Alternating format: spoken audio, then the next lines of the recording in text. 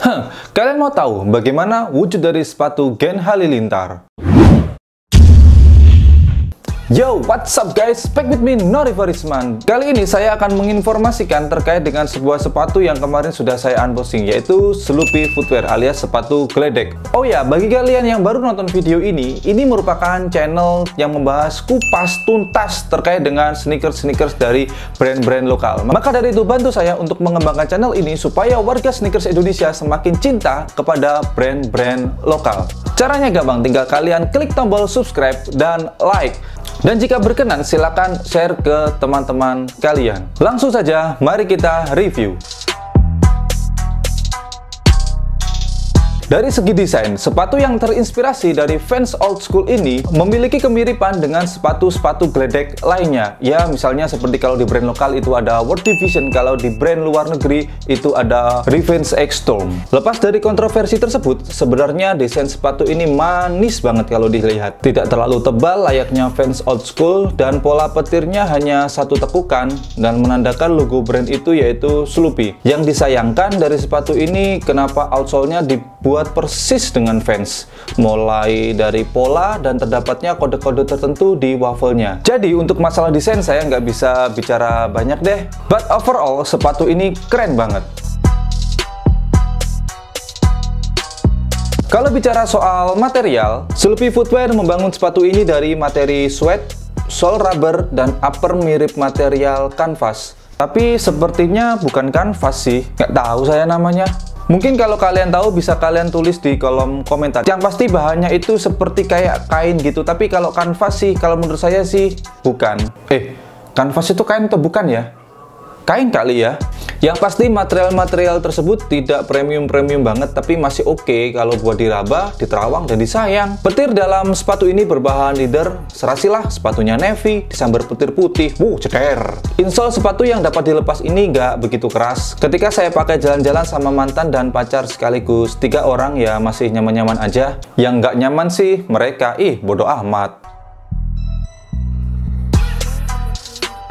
Di sini saya hanya menemukan satu masalah, yang lainnya sudah keren dan ajib semuanya, yaitu masih ada bekas lem ya lem yang digunakan untuk menempelkan midsole dengan bodi sepatu. Tapi selain itu, yang lainnya overall is rapi, rapi banget ya seperti kita menyimpan rapi sebuah kenangan dalam hati yang nanti rindu mungkin sulit untuk mencari.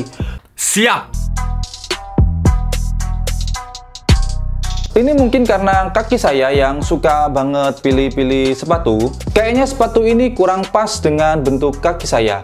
Terlebih di bagian atas tumit sebelah kanan. Kemarin sempat lecet padahal udah pakai kaos kaki. Setelah saya analisa, ternyata pada bagian tersebut jahitan kurang keluar sedikit. Jadi menyebabkan goresan langsung ke kaki saya. Tapi karena saya kuat, saya mah biasa aja. Sepatu seharga Rp288.000 ini kalau cuma dibuat nongkrong ke mall atau kalian nongkrong di depan gebetan yang cuma nganggep kamu temen pas butuh aja ya sabi banget lah, bisa lah. Gak percaya? Coba deh.